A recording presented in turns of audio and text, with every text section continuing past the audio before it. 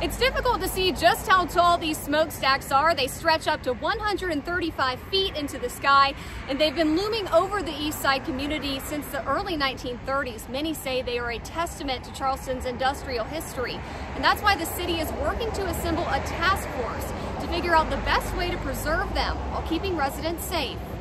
A concerning inspection revealing serious damage.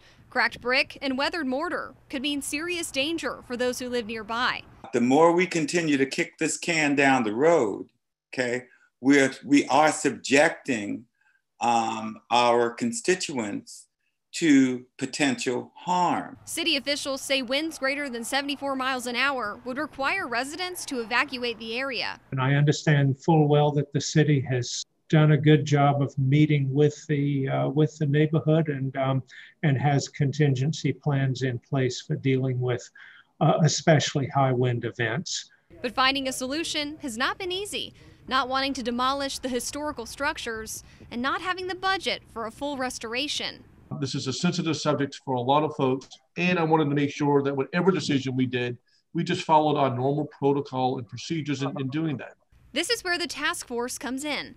Council members, preservationists, and city leaders will deliberate over the next few months to find a cost effective preservation plan where the city won't pay more than 50% of the cost.